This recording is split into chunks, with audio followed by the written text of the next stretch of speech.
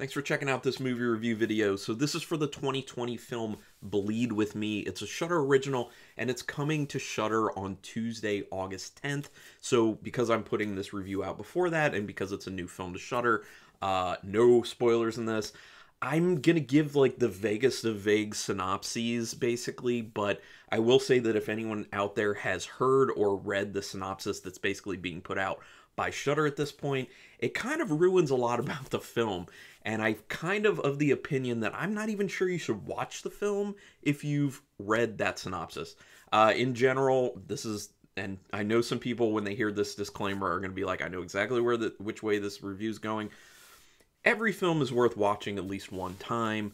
Uh, just because I do or do not like something doesn't mean that you will or will not like it. So the only way you're really going to know is if you watch it yourself. And like I said, every film is worth watching once.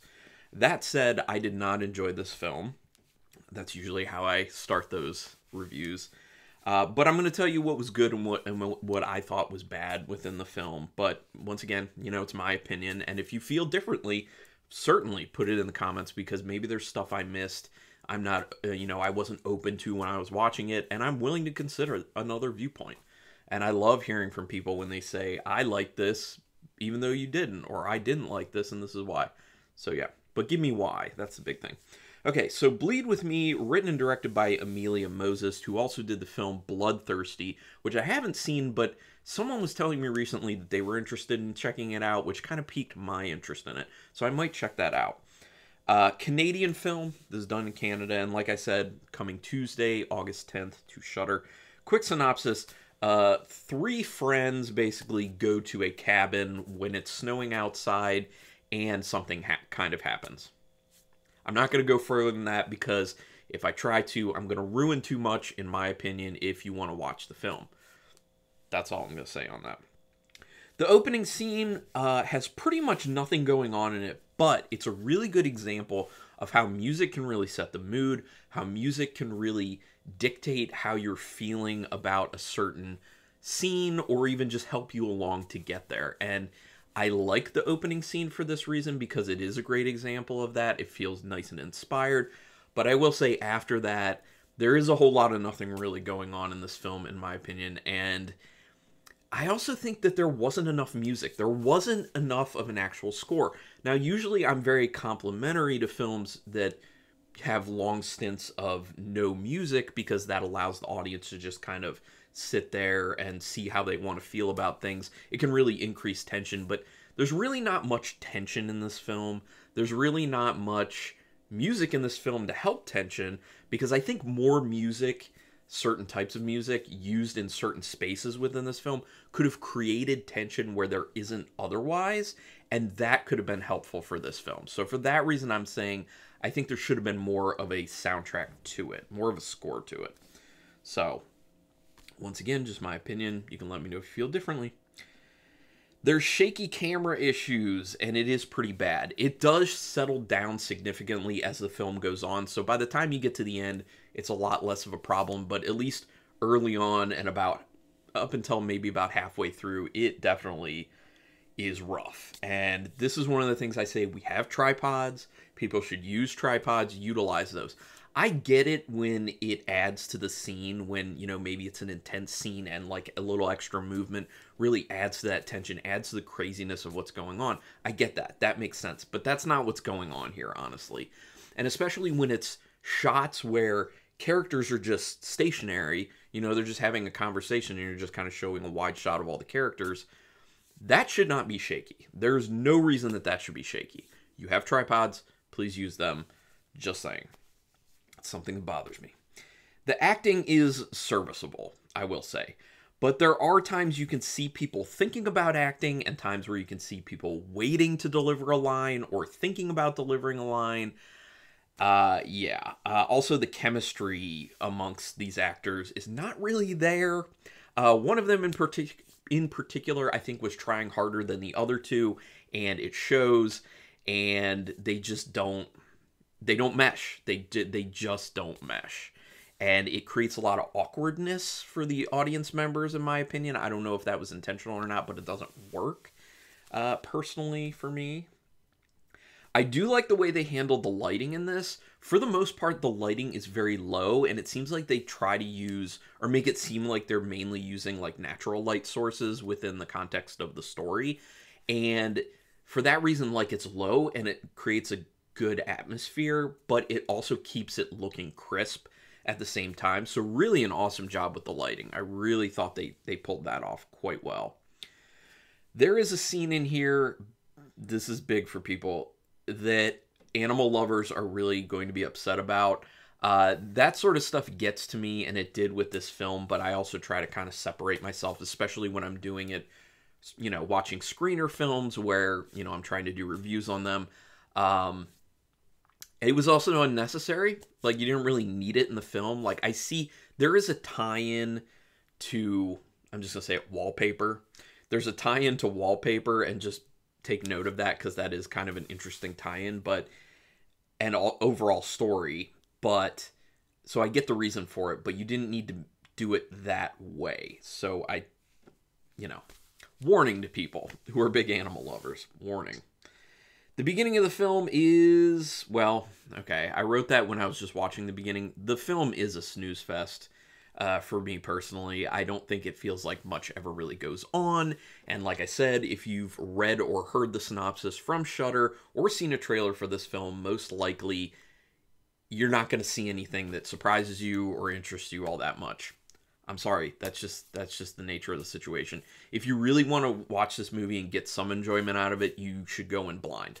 Should definitely go in blind. Story-wise, the dialogue is overly short and simplistic, and it makes the characters talk and seem extremely flat. I think that the bad dialogue also kind of rolls into the issue of the chemistry not being there with the characters. Um, writing in general is a problem for this this film, in my opinion. It's it's a very I mean the film's like an hour and 19 minutes. It feels like it's been stretched. It's probably about a 30 minute film, maybe stretched out to an hour and 19 minutes, so it feels insanely slow. It feels like there's a lot of intentional time wasting, scenes that just get stretched just for that reason, and it's not good. It kills any flow that the film could have had.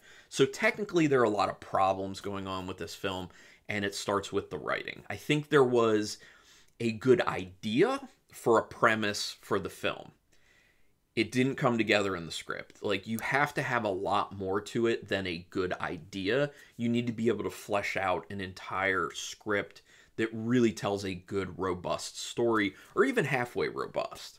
Because in the end if the end story is good or if the end yeah, if the end story and the end kind of twist whatever you have to it at the end is good enough, then people can kind of forget a little bit of the slowness up front or the fact that, you know, it doesn't feel as strong. But this one just it feels like the whole way through it's just kind of slowly meandering its way to the end. And like I said, there was a good idea, but it it it wasn't fleshed out well for the script, unfortunately. And it feels extremely slow. So if you don't like films that feel very slow, this feels unbelievably slow. Uh, I already talked about the score issue. There is kind of a cool scene that's tied to someone taking a shower. So I will say that. If you are going to watch the film, watch for the particular shower scene. You'll know what I'm talking about when you get to it. That looked cool. The way they shot it, the way it looks, the idea behind it, that is a good scene. I, I did enjoy that. Ultimately, this film seems like it is about relationships, but I think there's a large portion, there's actually a conversation where instead of allowing it to be subtext, it is in your face because the characters say it, basically. They tell you exactly what they were trying to tell you. And that's one of these things when, you know, book writing, screenwriting, show, don't tell. And this kind of is telling, and I just don't like that just because it it makes me feel like you think less of your audience in a sense. I don't know if other people feel that way or not. Um, the film plays like there was a rough idea, but not enough story to be fleshed out. Yes. Uh, this film actually, while I was watching it, made me think back to another recent Shudder original that I did a screener for um, and a review on, a, An Unquiet Grave. So if you saw An Unquiet Grave, this has a similar feel to it in many ways. So yeah, I mean, that's my thought on it. I didn't really like this film. Out of five stars with half stars in play, unfortunately, I'm going to give it a one star rating. I don't think there's a whole lot here to be compelling. I found myself during the film and after the film just asking myself the question, so what? Like that's and that's what you need to do when you're writing scripts is so what? You know, this happens. So what? Like does it matter for the story overall? Is it getting us somewhere? So what? And I kept just thinking so what? And there were no answers for it with the film. So I just wasn't a fan. But you know, I wish the best to Amelia Moses, who wrote and directed this. Uh, I think that directorially, there's some really good technical flashes going on there, and cinematography wise, other than the shaky camera, there were some decent shots there. So, directing and cinematography wise, there's a future there for Amelia Moses, I believe. Maybe just don't write your own scripts or write with someone else. Um, just saying. But that's just my thought. Like I said, let me know what you think. Go ahead and put it down in the comments. And you can go ahead and do spoilers in the comments. That is fine. Just know that that's a thing. Uh, do me a favor, though, real quick. Hit that subscribe button if you can for me. And you can because it literally takes you a second. It costs you no money and it's totally painless.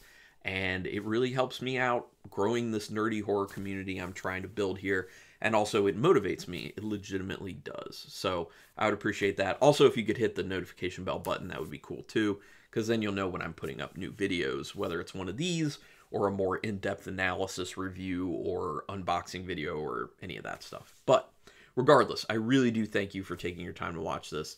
And until next time, keep it brutal.